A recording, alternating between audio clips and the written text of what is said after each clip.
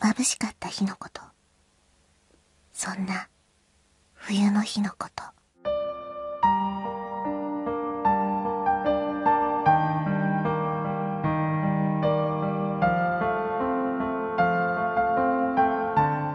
Bonjour à toutes et bonjour à tous, c'est TGF, et nous retrouvons pour le neuvième épisode de notre let's play sur Narcissus First Side. Dans le dernier épisode, nous avions eu Mademoiselle Setsumi qui a sorti un billet de 10 000 yens de nulle part, alors que monsieur le protagoniste voulait partir de la station-service sans payer. Mais il a réussi à payer grâce aux 10 000 yens de Setsumi. Et justement, le protagoniste allait dire « Et tu sais, Ti- Tiens, c'est tout ce qu'il y a. Hein? Avant que je puisse continuer, elle me tendit une enveloppe. Je, peux vraiment utiliser ça? Ce, n'est pas vraiment important. Je jetai un coup d'œil à l'enveloppe. Et il y avait quatre billets de 10 000 yens à l'intérieur. Ce serait largement suffisant. Mais pour l'instant, j'avais quelque chose de plus important en tête. Pourquoi avait-elle tant d'argent sur elle? Les deux billets de 1000 yens que j'avais sur moi étaient tout ce que tout ce que moi j'ai pu mettre sur la main. Mais dans son cas, c'est comme s'il avait tout préparé à l'avance. Et tu sais, tu as dit que tu ne voulais pas mourir au septième, n'est-ce pas? Ni chez moi non plus. Oui, pareil pour moi. Alors tu veux aller où précisément? Tu as préparé tout cet argent dans ce but, non? Et puis je me suis rappelé ce qu'elle avait dit. Qu'elle ira à un endroit tant qu'elle le pourrait encore et elle m'avait demandé est-ce que tu t'arrêteras ou est-ce que tu viendras avec moi? Donc en fait, est-ce qu'il y a bien un endroit où tu voudrais aller? Pas vraiment. Ce n'est pas vraiment une réponse. Il n'y en a pas. C'est tout ce qu'elle murmura, affligée, triste. Si c'était vrai, elle se serait préparée à un voyage sans avoir de destination pendant tout ce temps. Ce qui m'amena à me demander qui pourrait faire une telle chose. Mais alors que je regardais son profil si triste, je trouvais sa ma réponse. Elle.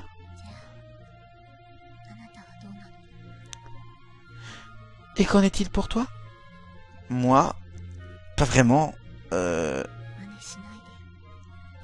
Ne m'imite pas. Je ne t'imite pas? Nous continuâmes à rouler sans destination. L'un s'étant enfui sans réfléchir un instant, l'autre en ayant fait des futiles préparatifs sans destination. Mais... Actuellement, n'importe où m'irait, mais je veux aller quelque part. Hein? Hein? Au moins pour moi, je voulais un chemin à suivre, n'importe lequel. Mais tant que j'en avais un. Pourquoi pas l'île d'Awaji que tu m'as parlé? Nous pourrions y aller avec l'argent que nous avons là. Franchement, n'importe où aurait été bien. Tant que ce n'était pas le septième, ni la maison, tant qu'on pouvait y aller. Mais nous ne pouvions pas continuer à errer sans but. Je voulais voir ma destination, quoi qu'il en soit. Qu'est-ce que t'en penses? Tu veux qu'on essaie d'y aller?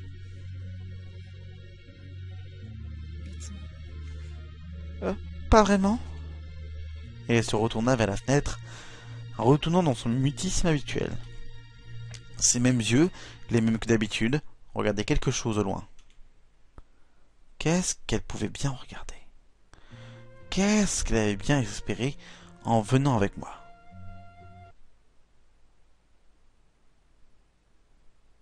Oh Le chapitre 4 est assez court.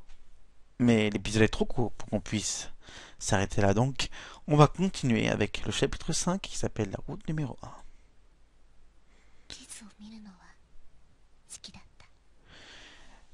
J'aimais lire des cartes. La route numéro 1 s'étendant à l'infini, des lieux inconnus, et j'adorais les voitures parce qu'elles pouvaient m'emmener partout. Mais peu importe combien d'autres inutiles futilités je prenais, ce n'était que dans mon imagination, écaillant lentement la réalité et mon cœur. J'avais un maillot de bain, j'avais des cartes, mais j'avais pas d'avenir. Il y aurait un monde de l'autre côté de la fenêtre, mais il n'y avait rien que je puisse toucher. Si je fermais les yeux, je pouvais aller dans un monde vide de toutes choses, mais ce n'était pas comme si le monde réel allait disparaître. Je savais tout cela. Mes cicatrices, compagnie à vie, me disaient de m'habituer à ce monde inférieur, intérieur plutôt. Et pourtant, je continuais à me dire et si? Et je rêvais à d'innombrables possibilités, mais au final, l'envie n'a jamais dépassé le stade de l'envie.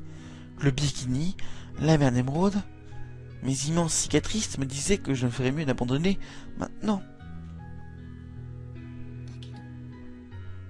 pourtant, j'ai passé la plus grande partie de ma vie à l'hôpital, au milieu de ce monde où je fermais les yeux. C'était tellement triste de ne pas pouvoir choisir entre le septième ou la maison. Aucune autre possibilité. Malgré tout, il était encore plus triste que je n'arrive pas à penser à d'autres endroits. Mais j'ai vécu ainsi pendant 22 ans.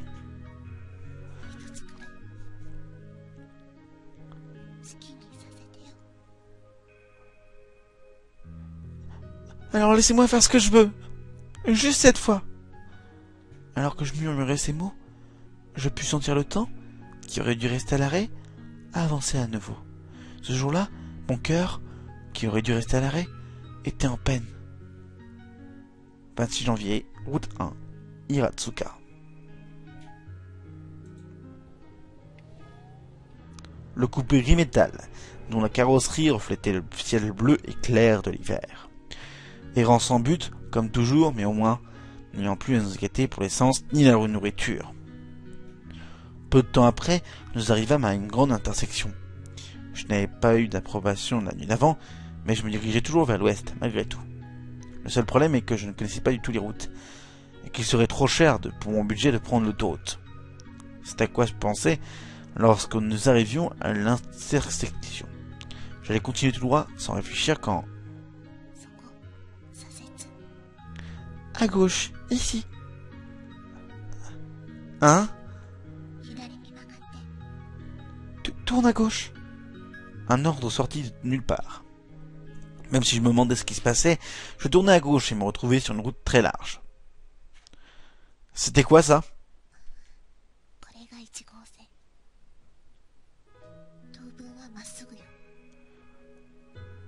C'est la route numéro 1. Continue tout droit, pour l'instant pour l'instant. J'étais surpris par sa soudaine envie de donner une direction. Nous avions toujours été ensemble jusqu'à maintenant, et elle semblait vraiment tout savoir sur tout. Mais c'était la première fois qu'elle me donnait volontairement des indications. Est-ce qu'il se pourrait que tu aies vraiment envie d'y aller maintenant? Tu sais, à cet endroit nous, de nous avions parlé, l'île d'Awadji. C'est mal? Non, c'est pas du tout ce que je voulais dire. Nous conduisions sans aucun but précis. Je me démenais comme je le pouvais pour trouver une destination, et toujours aussi cinématique, elle continuait éternellement à regarder au loin par la fenêtre. Donc Clément qui venait de sortir sa bouche m'avait pris complètement au dépourvu. Ce n'est pas comme si j'avais la moindre attente. Quoi?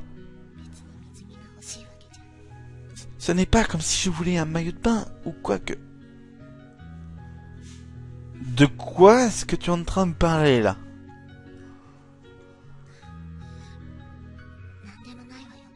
Rien, du tout.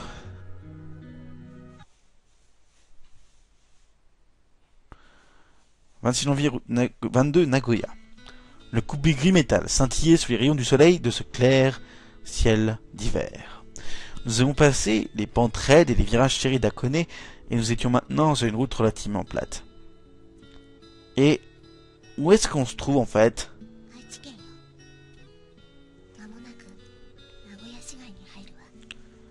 Préfecture Taichi. Nous allons bientôt entrer dans Nagoya. Nous roulions sur des routes nationales car notre budget ne nous permettrait pas euh, de justement prendre l'autoroute. Je n'ai jamais pu le faire seul, mais grâce à elle, nous avancions plutôt bien. Ces indications plus précises que n'importe quel GPS. Je ne sais pas pourquoi, mais je ne pouvais lire je pouvais dire que nous étions sur la bonne route.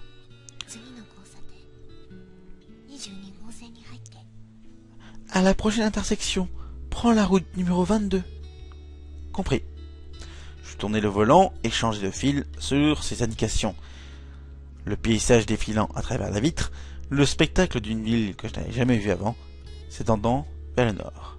Et au moment où les grands espaces vides s'est transformé en paysage urbain, et tu veux qu'on qu'on s'arrête? Un restaurant familial, quelconque au bord de la route. Je le désignais en conduisant et continue de parler. Après tout, nous n'avions mangé que de la nourriture pour Combini jusqu'à maintenant, non? Bien sûr, ce n'est pas comme si nous mangions ce genre de nourriture parce que nous l'aimions. Il y avait le fait que nous n'avions pas d'argent et aussi le fait que nous étions trop nerveux. Maintenant que nous avions un peu d'argent de côté, c'est pour ça que je l'avais suggéré ce restaurant.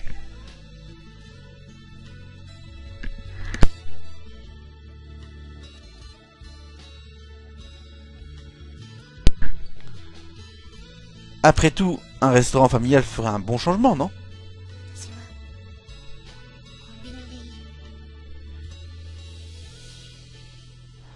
La nourriture de Compini me suffit très bien. Elle baissa un peu le regard en disant cela, comme si elle fixait ses vêtements. Oh, c'est vrai qu'en y pensant, ça me rappelait que ses vêtements étaient trop grands. Très bien. Alors ensuite, pourquoi ne pas s'arrêter ici? Que veux-tu dire par là? Regarde par là-bas, il y a une boutique de jeans. Et là se trouvait une chaîne de magasins de jeans, de vêtements et de jeans que j'avais déjà vus à d'autres endroits sur la route. Ce genre de magasin n'est pas très onéreux en plus. On s'arrête, d'accord? Je m'arrête maintenant. Pas de réponse, mais pas d'opposition non plus. Peut-être qu'il serait mieux pour moi de prendre ces absences de réponse comme des approbations, ou quelque chose comme ça. Nous entrâmes dans le magasin. Elle regardait avec curiosité les deux immenses étages de magasin, scrutant attentivement chaque recoin. Comme toujours, elle ne prononçait pas un mot, mais elle semblait avoir l'air si différente que d'habitude. Mais c'était un petit peu différent lorsqu'elle lorsqu'elle était devant cette télé inutile et ennuyeuse. Elle examina chaque vêtement l'un après l'autre et elle semblait aussi comparer les prix. Et puis à chaque fois qu'elle essayait de un nouvel ensemble, elle venait vers moi en courant et tu en penses quoi? Ce que j'en pense, ce que ça va très bien. Ce, n'est pas bizarre? Non, je ne pense pas. Et c'est ainsi qu'elle essaya chacun des ensembles, l'un après l'autre, venant me les montrer à chaque fois. Elle ne sourit pas une seule fois et me laissa, me laissa pas la moindre expression transparaître son visage. Mais il semblait que quelque part, elle était contente. Très bien, tu l'as décidé? Oui. Oui, je vais prendre cela. En me disant cela, elle me présenta son choix, une jolie chemise et une jupe courte. C'est ce qu'elle avait choisi. Ce qu'elle avait choisi la faisait ressembler à une collégienne ou à une lycéenne, mais cela semblait plutôt bien lui plaire. Maintenant, si je me rappelais bien, il y a quelque temps de cela, elle m'avait dit qu'elle était plus âgée que moi. Mais peu importe comment je la regardais, je n'arrivais pas à croire que c'était vrai. Avec un tel contraste dans son apparence, je ne pouvais m'empêcher de sourire. Mais tu sais, ce serait pas mieux si cette jupe était un peu plus longue Hein? Oh non, non, je sais pas... Je suis pas en train de dire que ça va pas, mais... Il fait froid, tu sais, et avec ce genre de vêtements...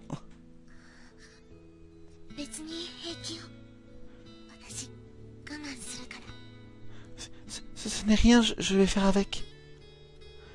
Et quand elle prononça ces mots, je vis une très légère pointe de rose apparaître sur son visage pâle. Pour une fille qui était toujours aussi dénuée d'expression, se pourrait-il qu'elle rougissait? La première émotion qu'elle n'ait jamais laissé transparaître. Et nous laisser là avec cette première émotion que Setsumi a voulu laisser au protagoniste. Et nous nous retrouvons bientôt pour le dixième épisode de notre let's play. J'espère que ce let's play vous plaît. On se retrouve bientôt pour la suite de nos aventures. C'était GF. Stay tuned.